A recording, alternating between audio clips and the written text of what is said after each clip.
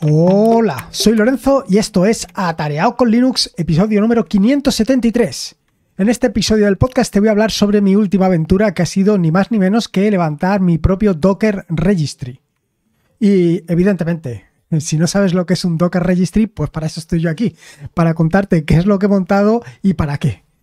Eh, seguro que si estás metido en el mundo de Docker, evidentemente sabrás lo que, o mejor dicho, qué es Docker Hub que no es ni más ni menos que una plataforma donde hay alojados miles de, iba a decir millones, pero bueno, hay una barbaridad de imágenes Docker que te puedes descargar.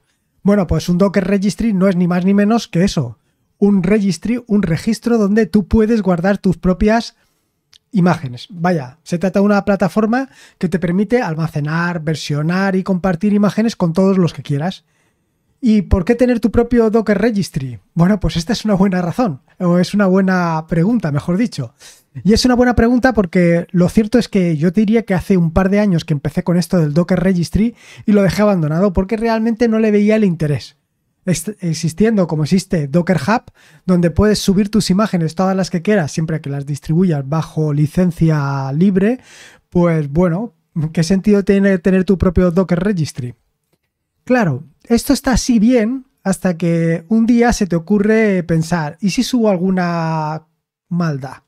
Me refiero a alguna guarrería, alguna, algún, alguna imagen Docker que solamente la quieres utilizar tú porque es una imagen en bruto, que no es una imagen que está depurada y que, bueno, pues que la quieres empezar a utilizar para vete a saber qué cosa. Pues sí, eso es básicamente lo que me ha sucedido. Y te digo que es básicamente lo que me ha sucedido porque eh, durante el día de hoy, o durante hace más bien unos días, pues me planteé la posibilidad de eh, crear una imagen que ahora te contaré. Bueno, crear un contenedor para mover un servicio. Y mientras estaba creándolo, digo, voy a hacerlo a lo bruto y pues incluso metiendo las contraseñas y metiéndolo todo ahí y luego ya lo haré en, en fino. Pero claro, ha habido un momento en esa decisión en que digo, un momento, si lo, subo así, lo voy a subir directamente a Docker Hub con todas las contraseñas en claro. Menuda locura. Así que, bueno, eso ha sido lo que ha detonado el detonante que me ha hecho replantearme precisamente lo de tener mi propio Docker Registry. Así que en este episodio del podcast te voy a contar primero qué es lo que he hecho para levantar mi propio Docker Registry y el servicio que he tenido que montar y que a lo mejor a ti también te viene de utilidad. Así que vamos directos al turrón. Te voy a hablar sobre cómo crear tu propio Docker Registry, o en este caso, cómo crearlo yo. Y empiezo por esto, por un paseo por el pasado. Y es que hace algún tiempo, pues levanté un servicio muy sencillito, un servicio en Python, que lo que hacía era monitorizar una cuenta de eh, Twitter y cada vez que se publicaba en esa cuenta de Twitter, yo, eh, mediante eh, un usuario, retuiteaba. Y todo esto de forma completamente automática. Esto funcionaba de verdad que era muy, muy sencillo, era fantástico y además no tenía ninguna complicación. Incluso estaba haciéndolo utilizando la API de Twitter y mm, trabajando directamente con la API de Twitter, con los credenciales, la API 1.1, la API 2.0 y todo parecía que funcionaba correctamente, pero no tan correctamente, en el sentido de que algunas de las eh, llamadas API que estaba yo utilizando ya no deberían de funcionar con la llegada de Elon y las condiciones que había puesto, algunas de las funcionalidades que yo estaba utilizando ya no funcionaban. O no deberían de funcionar, mejor dicho. Pero en el caso de este proceso, pues sí que funcionaban. No sé por qué. Y, funcionaban, vaya, yo creo que han estado funcionando por lo menos tres años de forma completamente continuada. Hasta que hace unos días, bueno, pues dejó de funcionar. Lo que tenía que pasar, pasó. No solamente es esto, sino que ese proceso que tenía, que se encargaba de hacer esta monitorización, la tenía directamente instalada en una máquina. O sea, directamente la tenía eh, eh, corriendo en un, directorio, pues con un proceso levantado con systemd, que pues hacía eso. Básicamente, cada cierto tiempo miraba si la otra cuenta había publicado y en ese caso retuiteaba, dependiendo de las condiciones. Así que cuando sucedió esto, pues bueno, pues ya te puedes hacer una idea que fue un poco descalabro. Esto de quedarme sin las posibilidades de algunas de las eh, funcionalidades de Twitter, pues no me viene como que nada bien. Así que decidí, bueno, pues decidí arreglarlo todo. y decidí arreglarlo todo metiéndolo primero en un contenedor, que es como me gusta a mí tener las cosas, más que nada porque lo tengo muy controlado y levantar ese contenedor en cualquier otro sitio es muy sencillo, porque simplemente tengo que bajar la imagen y ponerla en marcha. Eh, es justo aquí, en este punto, donde se me ocurrió, pues para empezar a trabajar y para ver cómo funcionaba todo, pues subirla con las credenciales y todo metidas dentro del contenedor. Pero bueno, en un destello de, ¿cómo te diría?, de, inteligencia, en un destello de lucidez, probablemente caí en la cuenta de que no era lo más adecuado, porque iba a subirlo a un repositorio, a un repositorio de imágenes donde, bueno, pues no iban a estar todo. Este fue lo primero y lo que me hizo replantearme precisamente lo del Docker Registry. Luego lo siguiente ha sido un poco un calvario, porque la API de Twitter realmente, tal y como lo han dejado, prácticamente solamente te deja hacer eh, publicar tweets, no te deja hacer mucho más. Y esto es realmente un problema para mí, porque claro, no me permite seguir la cuenta de otro usuario, ver qué es lo que está publicando y en ese caso retuitear. Un poco infierno. Así que finalmente he tirado de un, de un módulo de Python que te permite precisamente esto, te permite con tus credenciales, es decir, sin necesidad de utilizar eh, todas las posibilidades que te ofrece Twitter, tanto los, los tokens, los secretos y todo ese tipo de cosas que hace realmente farragoso el uso de la API de Twitter, bueno, pues directamente con ese módulo, si le pasas usuario y contraseña, te permite publicar de una manera sencilla. Eh, bueno, relativamente sencilla y ahora te explicaré por qué. La cuestión es que simplemente lo que se trata es, pues eso, de hacer la misma operación, pero esta vez utilizando otras herramientas. Y la cuestión es que ha sido, bueno, un poco locura, porque primero me he empeñado en hacerlo utilizando la API de Twitter, hasta que me he dado cuenta que no se podía hacer. Una vez me he dado cuenta de que no se podía hacer, me he liado a utilizar este módulo de Python que se llama TweeKit y que es relativamente sencillo. Y bueno, con esto sí, con esto he conseguido que funcionara.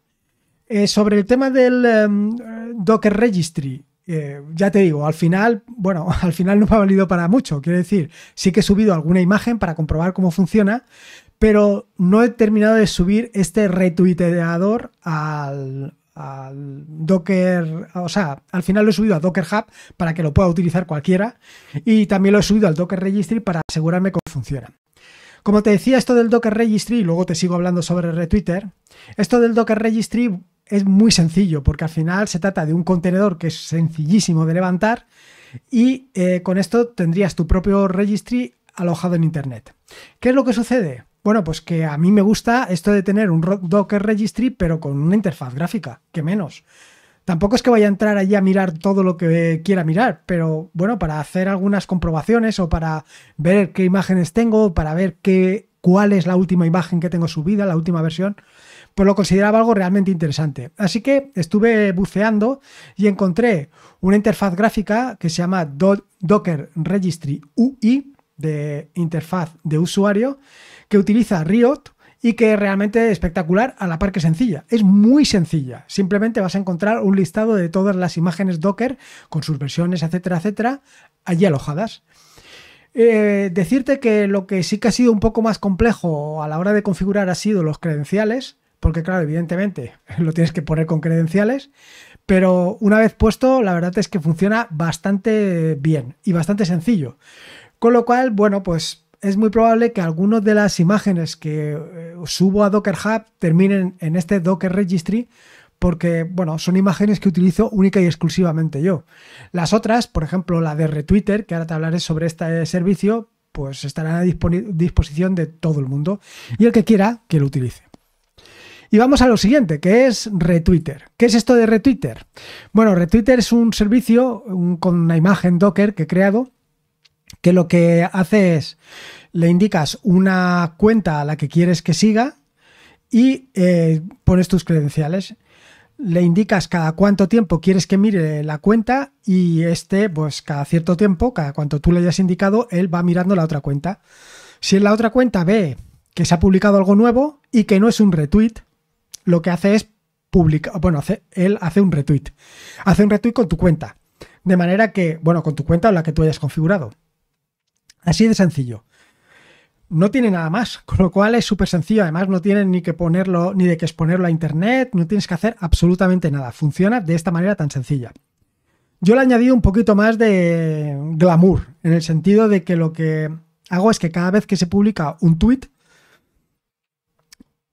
o mejor dicho, cada vez que comprueba si hay tweet o no hay tweet en la otra cuenta, lo que hace es publicarlo en mi Open Observe, que como ya te he contado en algún episodio anterior del podcast, se trata algo parecido a Elasticsearch. De manera que ahí tengo registrados todos los eventos que se han producido. Y con esto, bueno, pues eh, estoy al tanto de todo lo que sucede en, este mm, bot eh, retuiteador.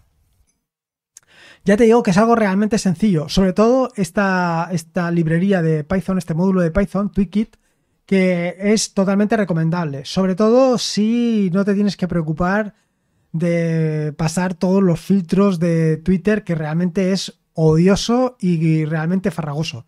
Sobre todo porque al final, después de haber hecho toda la operación, después de haber conseguido los credenciales, no he sido capaz o no he encontrado un endpoint donde pues atacar directamente la posibilidad de retuitear cualquier mensaje.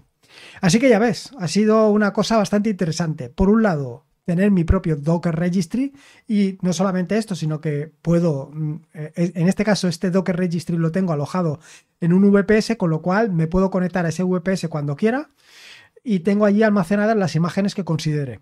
Ya no tengo que depender ni de Docker Hub, no tengo que depender de nadie. Dependo única y exclusivamente de mí. Y luego, por otro lado, pues esto del retweeter, que a mí me ha parecido una cosa realmente interesante. Y me ha parecido una cosa realmente interesante porque lo cierto es que con este módulo de Python eres completamente independiente y libre para trabajar un poco con la API de Twitter. Y nada más, esto es un poco lo que quería contarte, ya ves, un par de cositas bastante interesantes. Por un lado lo de tener tu propio Docker Registry y por el otro lado un retuiteador. Y nada más. Recordarte lo de siempre, eh, si puedes una valoración en Evox, en Apple Podcast, esas cinco estrellitas, me vendrían fantástico para dar a conocer este podcast. Recordarte que este es un podcast de la red de podcast de sospechosos habituales y puedes entrar en Telegram buscando WinTablet Info. Y de la misma manera, también puedes entrar en Atareao, en el Telegram de Atareao con Linux, buscando Atareao-con-Linux. Y allí, bueno, pues allí vas a ver pues, los distintos bots que estoy implementando para conocer tanto la shell como lo que te mostraré o lo que te contaré el próximo jueves. Y nada más, espero que te haya gustado este nuevo episodio del podcast y que lo hayas disfrutado. Recuerda que la vida son dos días y uno ya ha pasado, así que disfruta como si no hubiera mañana y si puede ser con Linux y en este caso con Docker, mejor que mejor. Un saludo y nos escuchamos el próximo jueves con el próximo experto. Hasta luego.